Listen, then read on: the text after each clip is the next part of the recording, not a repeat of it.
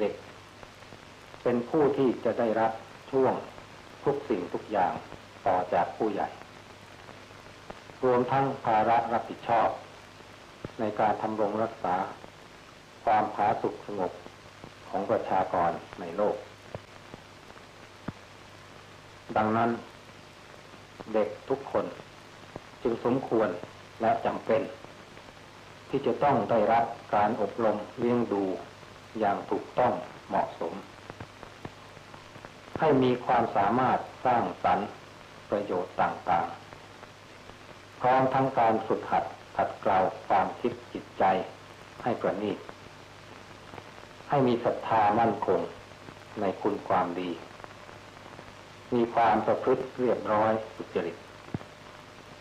และมีปัญญาฉลาดแจ่มใสในเหตุในผล บิดามารดา จึงต้องสอนบุตรธิดาที่จึงต้องสอนน้อง คนรุ่นใหญ่จึงต้องสอนคนรุ่นเล็ก และเมื่อคนรุ่นเล็ก เป็นผู้ใหญ่ขึ้น จึงต้องสอนคนรุ่นหลังต่อตาไป